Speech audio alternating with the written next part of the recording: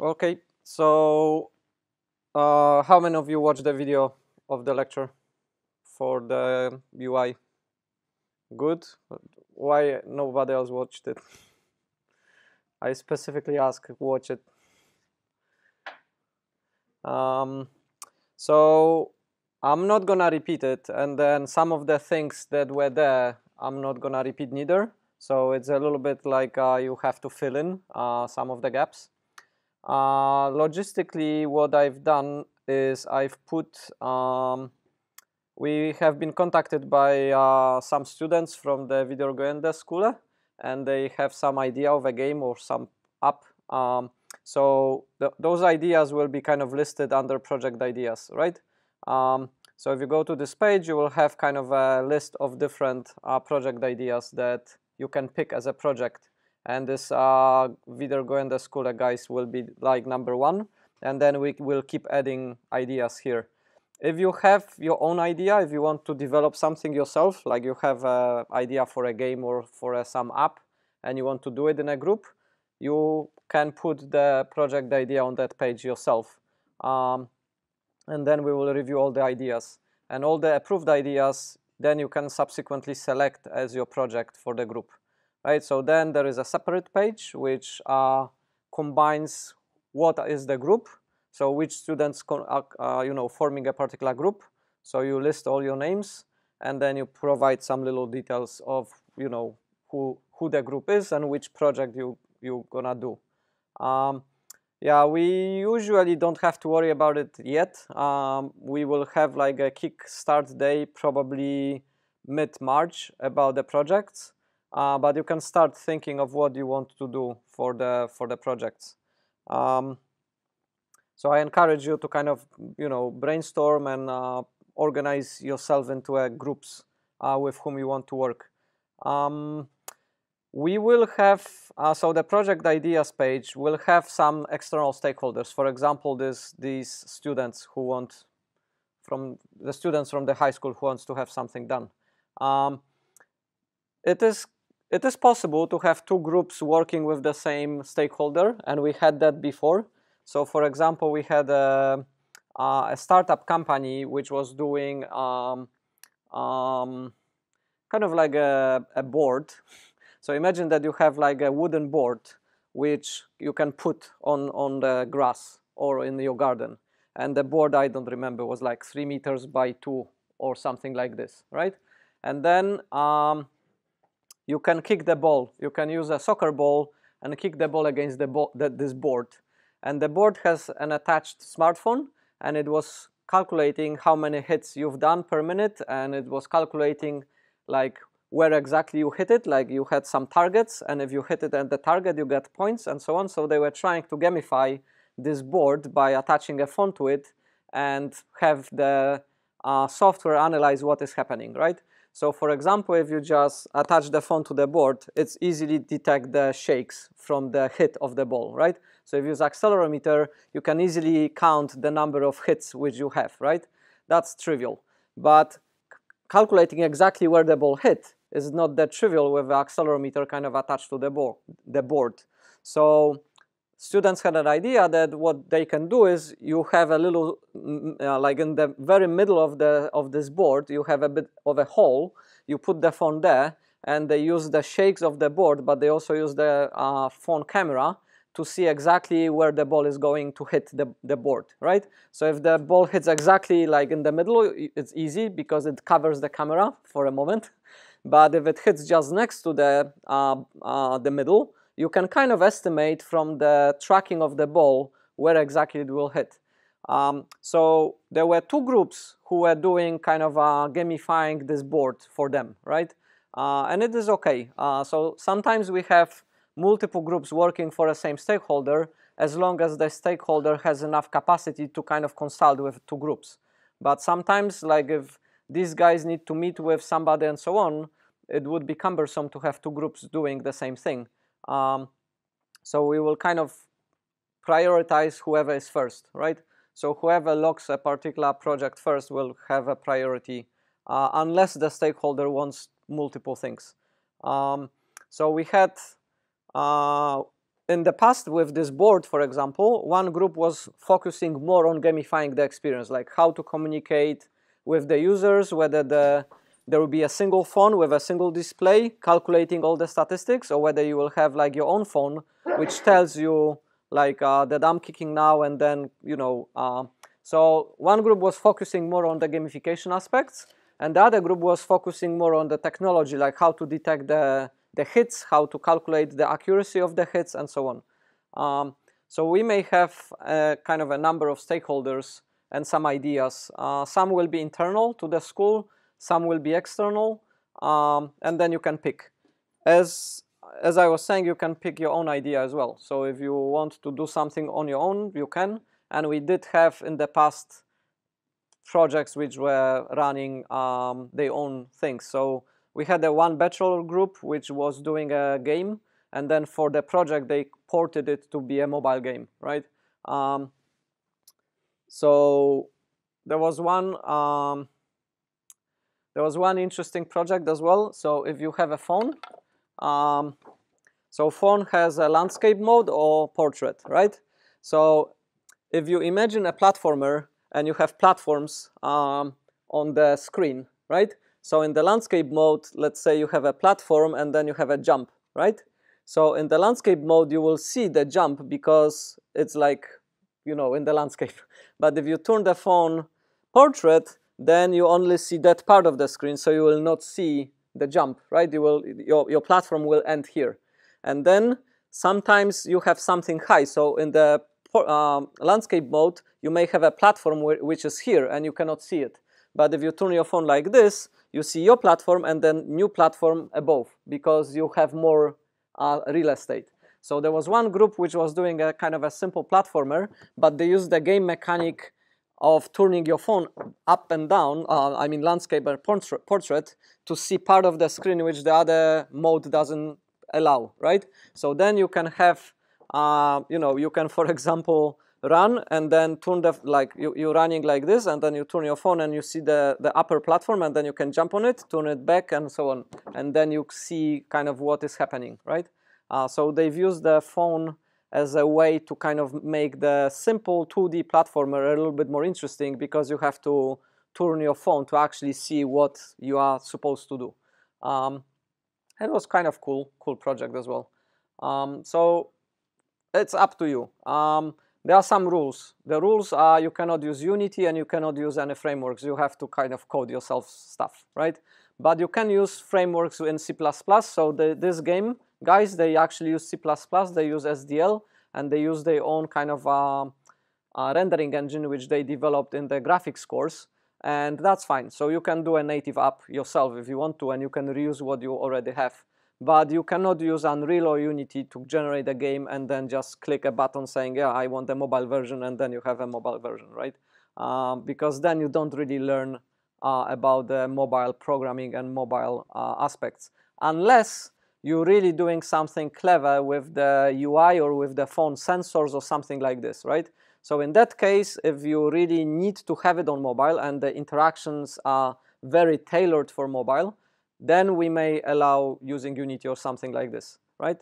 Uh, if you were to do something with augmented reality or virtual reality, uh, where you have the Google Cardboard or something like this, of course you can use frameworks, right? So for that part, if you, again, you, it has to be somehow, um, like so, some elements must have to do with the phone, right?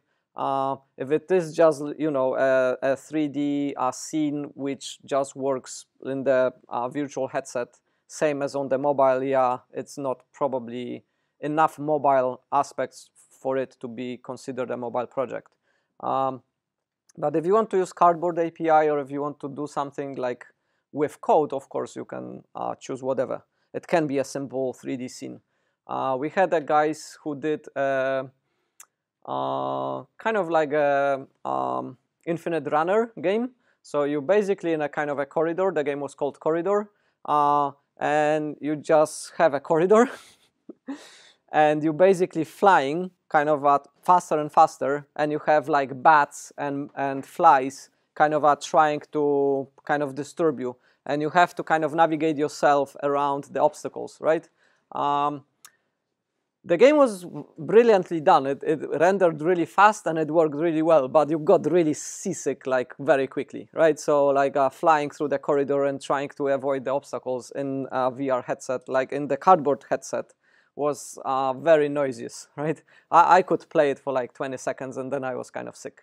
Uh, so yeah, you you know use your creativity. So you can pick what whatever you want. You can put it here we will review all the ideas and we will put the external ideas here as well. Sometimes it is kind of fun to work with an external partner because they have um, they have some cool ideas which are not limited by the technology, right? Uh, we often got requests uh, for doing something on mobile, which is like, yeah, it's cool, but it's impossible, right? Uh, so you can kind of learn some uh, some some things which we don't see because we know the limits of the technology, right? But for external people who don't see all the limits, they kind of their creativity is sort of more um, sometimes bigger uh, than than ours.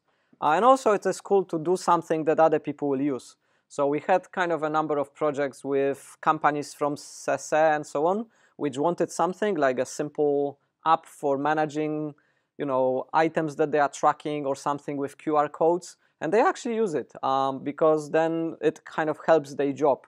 So you can end up with developing something which is used in real life uh, after the course. And it's kind of a good thing to put on your CV and so on. You, it kind of becomes your portfolio of what you have done in the past when you're applying for jobs. You can kind of demo it or showcase it. And it's kind of a great asset. So that's why we have those little labs, which are like, you know, things you cannot really show your future employers. And you have the project which is something that you can put a little bit more effort in and have something that you can carry forward. Like you can i'm not saying you will be developing it after the course. You, that's not the point. The point is that you have something that you can demonstrate. It's part of your portfolio.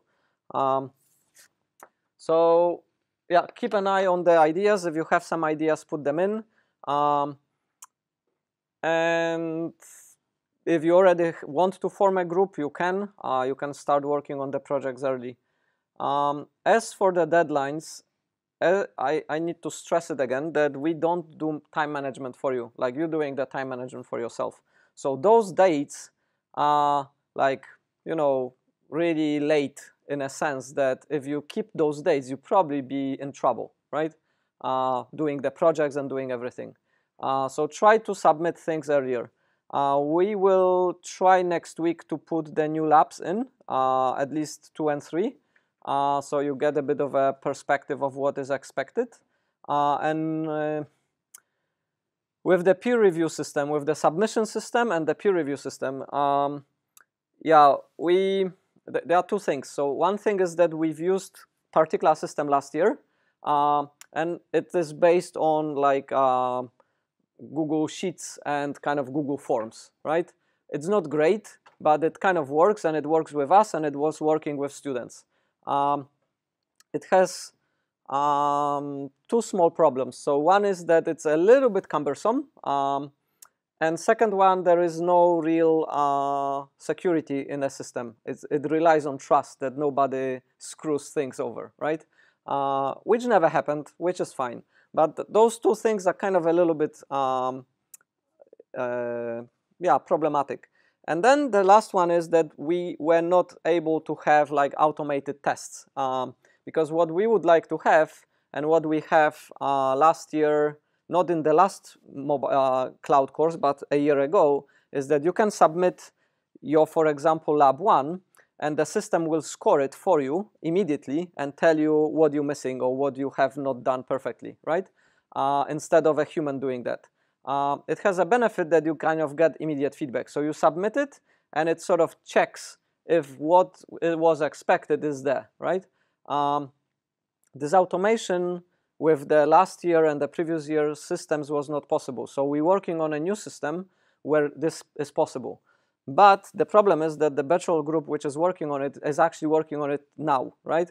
So we don't know if that will be ready like, you know, towards mid-March or something for us to be testing it or not. So I haven't put a system yet whether we will use the old one or the new one uh, because um, it, it is a little bit dependent on the progress the students will be doing.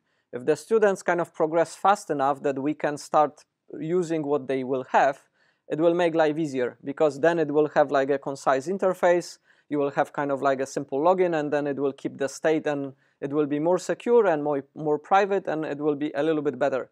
Uh, but I'm not sure if they will manage that. If they will not manage that, we have to fall back to the old system, right? Uh, so, and, and we cannot have both. Like once we decide to use the old system, that's it. Like we will not have time or power to kind of transit to the new system uh, if they have it. So I'm kind of postponing the decision on whether we fall back to the old system or start using the new one uh, for another couple of weeks until we can make this decision based on their progress. Um, it doesn't really affect you, like in feature-wise. It can only make it better. Uh, so if we can use the new system, it will be better. But um, yeah, I'm not I'm not sure. So um, the peer review system itself is kind of the same. Like you have to look at others people submissions and check if they fulfill the requirements. Uh, but as a as a submitter, if we have those automated checks, you can get a feedback immediately. So you don't need to wait for somebody to look at your code saying, well, your code is you know missing some tests or missing something that was required in the lab, right? Uh, for the lab one, there is not much um, kind of automated requirements that we specified. So um, there are some things um, there are some things that we kind of require by default um, but for this one I don't think we um, yeah, it's only the behavior of the back button, which is kind of the, the default thing. Uh, we don't really stress code quality. We don't stress uh, tests. Um, and the UI can be kind of arbitrary as well. Um, so you only have some um, naming conventions that you should follow that we could test automatically. Um, yeah, so yeah, lab one is kind of uh, you don't really uh, we we don't grading you on um, code quality and uh, some of the aspects that we will be putting in later. So for example, for lab three and four, you will have to have tests, um, and then we can check if you have tests and if you don't, so on. But yeah, you know, it, it's not a big deal. Uh, it's not um, huge difference to marking it manually and getting a feedback uh, through the automation. Um, all right, so any questions about this? No questions? Okay, so um, the other thing that we've done is we have now kind of the exercises for working with the UI. Um, so we encourage you, those should take you like few minutes.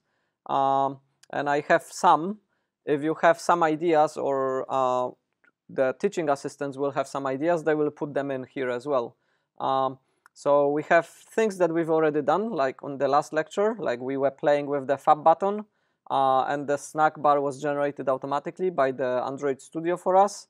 Uh, we could, uh, like, do you know how would you use the clicking on the button to open a browser? Who knows how to do that? So I have I have my code. Um, I, I, will do that in, in a minute, but I will have my code. I have to have a, uh, a button which opens the browser with a particular page. So for example, sometimes you have an app and you have like the privacy policy and you click on the privacy policy and then you have a browser opening some sort of a web page with the privacy policy for that app, right? How would you do that?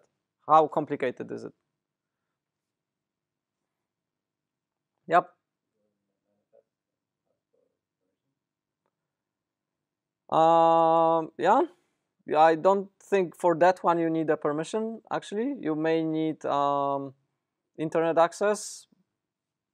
Yep, we can check that. Um, but the, so how would you, how would you solve it? You would Google it, find a way on uh, Stack Overflow, how people do it, right? Um, which is fine. Uh, so about the process. Um, Googling things and finding things is good. You should do that. Um, you should try to find more than one answer, right? So often the first answer you find is not the kind of the good one. Uh, sometimes it is, sometimes it isn't. So the safe way is you find the one way of doing something, and then you try again to find an alternative way of doing something, right? And then you can compare. You can make a judgment which one is better and for what reason, right? And that's what happened. Like one student kind of checked how can you wire up um, behavior to button clicks, and uh, he find found that you can do it by the uh, registering the callback. That's what we did in the last uh, class, right? But also you can have a function called something, like you can make an arbitrary function name, but as long as it returns void and takes a view as a parameter, so it has a particular signature, right? Uh, then you can wire up this behavior uh, into the the function button through um, yeah through this inside XML. You have kind of a, um, so for this element you will have a block of XML and then one of the properties is Android on click. And then if you say when on click happens, when this event happens, then this function should be called, right? Then you don't need to register the callback, right? Um, so those are two alternative ways of achieving the same behavior. And then there is a bit of a discussion of how, you know, which one to choose and so on. Uh, so it's often with code as well. You Google something, you find one way of doing something and then you use it, but it's it's it's not the best way, right? Uh, and you don't know if, if it's best or not because you don't know what the alternatives are. So I encourage you to always look for at least two ways of doing something. Uh, sometimes there is the problem is so trivial that it's really just one way of doing something, right? There is no alternative way. Um, so then it's fine. Uh, but most often than not, there is, even for the, the stuff that only has one answer, there are always people who come up with some you know, convoluted alternative answer, right? Um, all right, so um, what we can do today is we could go through some of the um, some of the things that are here. Um, I don't know because uh, like I can tell you stuff that I find you know either easy or hard, but I need you to tell me what you are struggling with. What you know, what do you need to understand more, right? Yeah. Passing data between activities. All right, great. So, what do you know about it so far?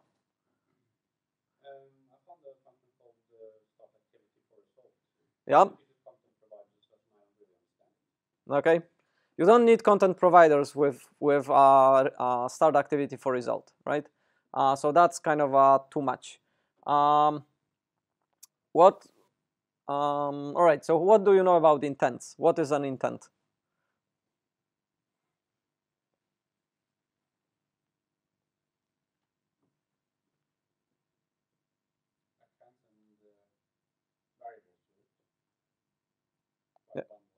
Yeah. So as we were discussing about the uh, the components, uh, we have a component which is called activity, and the activity is sort of like a, a process, right? So if you have uh, on your PC, if you're using Windows, you have exe files like executables, and if you run one exe file, it may may open a window and you can interact with it. And if you run another exe file, it opens another window, right? And now I have two windows, right? Uh, on a mobile phone, usually you have one after the, another because I cannot see both at the same time. I can only see one. That's the whole point be behind activities, that there is only one on top. But on a PC, you can kind of imagine that it's you actually see both at the same time, right? So can you use variables from this activity from, you know, in this activity? Yeah? If, if the variable is static, then you can use it, right? But the instance variables, you cannot, right? So instance variables are not visible between the, uh, the activities. Um, With the static ones, there is a little bit of a, uh, complexity of how the activities are running, okay? In the manifest file, you can say a particular activity should run in a separate process, in which case um, the static variables from this activity will be different to static variables from this activity because they actually don't share anything, right? So, and it's the same with services. If you, that's what I was telling you before, that for simplicity's sake, we sometimes use a trick where we uh, instantiate a service from within the class that we already have, and then we start it from that code, which means we are kind of in the same VM and we are can reuse variables, right? Um, but often, you know, sometimes the, the case is that you have two processes that don't um, occupy the same virtual machine, in which case even static variables from one process will not be the same as the static variables from another, right? Uh, so you can use static variables, but it's um, it has to comply with some restrictions and it's kind of limited, right? And also having static variables is kind of not a very good practice, right? So if I have one exe file and another exe file, I have one source code for this and another source, source code for this, I cannot really reuse variables, right? So how can those two things communicate? How can one process on your PC talk to another process on your PC?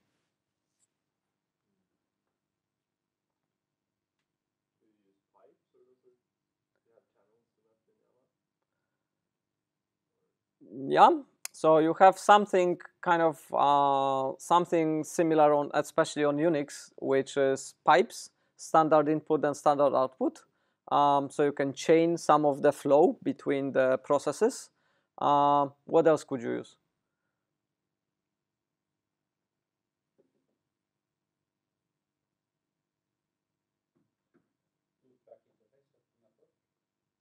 You can use network, exactly. So you could use loopback interface and kind of uh, communicate through a network between the two processes, right? You can use a disk. So one process writes something to a disk, another process reads from a disk. You can use a database, right? Uh, Android has something which is called properties, which is like a key value store. So one process can put something into the store, another activity can read from the store, right? So for example, if I have one activity which says uh, login, and then I, I click like button login and I click on it and I have another activity saying username and password, right? Uh, and then I, I click here login, right? Uh, but the login logic actually happens in the original activity, it just needs the two fields, right? There are kind of multiple ways of achieving that, right? So one way is that this activity now will store the current user and current uh, password into a properties come back to this activity and this activity will read it from the properties and try to log in the user, right? Or you can do it more dynamically. So you can use start activity for result. This activity collects the two fields of data, bundles it, and returns as a bundle back to the calling activity, right? Sometimes you want to pass data from the callee to uh, from the caller to the callee, right? So the first activity has some data which needs to be displayed or you know, are shown in the other activity and you want to pass data this way. And that's exactly what you said. You can bundle up the data into a key value store called bundle and then put it into the intent and then the other activity will kind of read it from the intent when the activity starts, right? Um, so it depends how, like what sort of problem you're dealing with, then there is a more or less appropriate solutions to, to do that. Uh, the concept of passing the bundle is conceptually quite simple. You basically have two processes, and instead of you doing all the networking and all this thing, it happens for you behind the scenes, and you operate on something called bundle, right? And the bundle is, um, so if I Google Android bundle, it's kind of a fancy name for a key value store, right? Uh, so I have um, I have a bundle class uh, and interestingly, the class is final. What does it mean that the class is final in Java?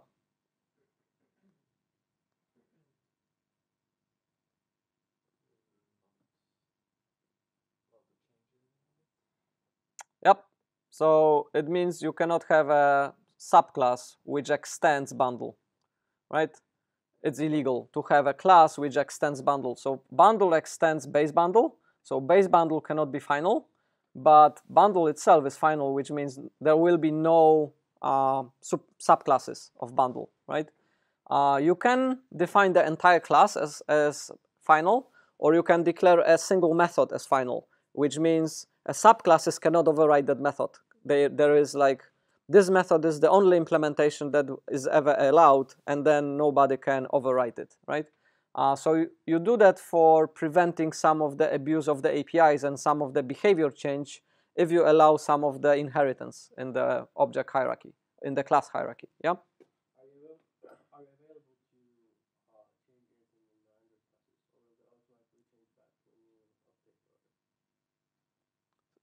Ask it again.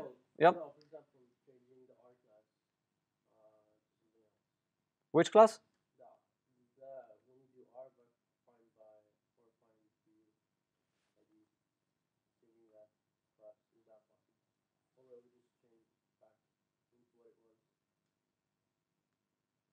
The R class. Yeah, so uh, the yeah the R class is made final but the code for it is generated based on the, all the IDs that you have in your project. So you like nobody can extend it in a sense, but it is kind of dynamic during the compilation process because this class is generated, right? So what Android Studio and the build tools do, they browse all your XML and see all the IDs that you are kind of using, and then it, they generate the R class for you, and they make it final, and then you cannot subclass it and add anything new or change anything but you kind of changing it by adding new IDs and recompiling everything, right? Uh, but it's the same with the bundle. Like if the um, Apache Foundation or whoever is providing source code for the class bundle changes something internally and recompiles it and reships it with the new version of Android, then of course the bundle class sort of changes, right? But it's not being able to be changed kind of dynamically when you already have it in binary form, right? So it's the same with the R class. Once the R class is generated and compiled, that's it, it's sealed. But during the build process, you always regenerate the R, right?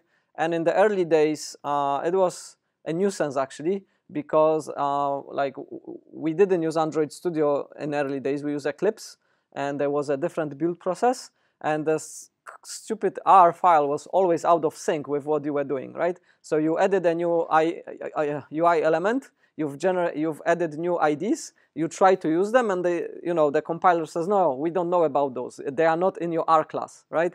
And then you have to manually regenerate the R class because it was always out of sync. Those problems, like the last year and and this year, I've been building things. I, I, it never happened to me, but it may happen, right? If the R class is out of sync with what actually is in the project. Uh, so sometimes maybe when you're doing pull requests or something with your code base, you know, the sync might not be accurate and then your R class will be out of sync and then in your code the compiler will complain. But it doesn't mean you have errors in your code, it just means that the R class source code is out of sync with what it should be. Um, yeah, so you have kind of a, you know, you can just construct it uh, and then it's just an empty bundle.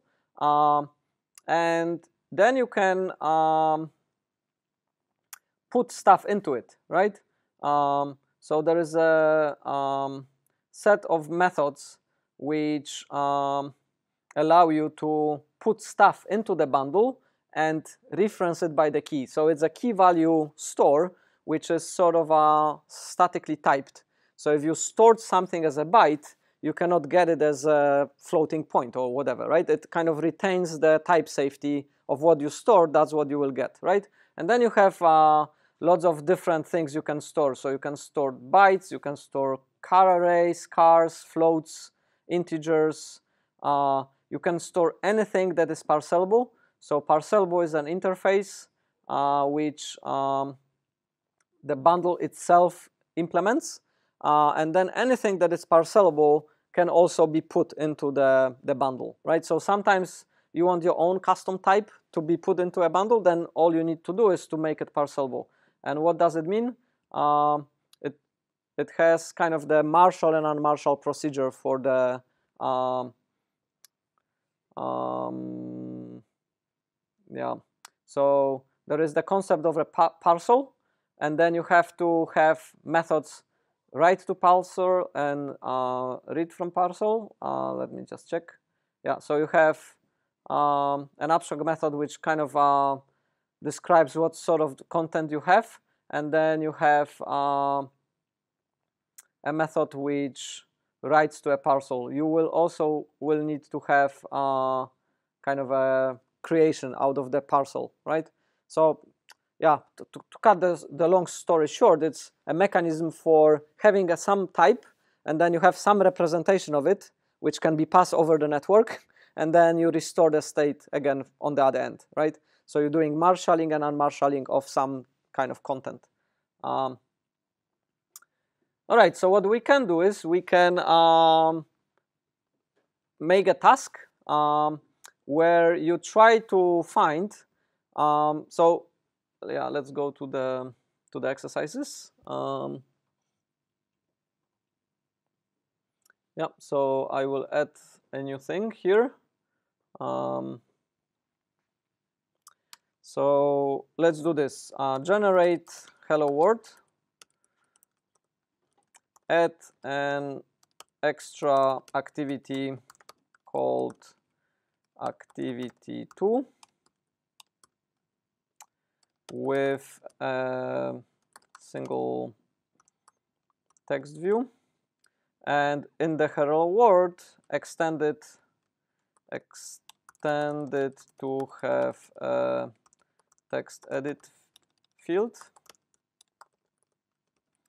Uh, add an extra activity called activity2 with a single text view. And when when uh, main activity fab button is pressed, uh, launch the new activity with the text view filled with the new text.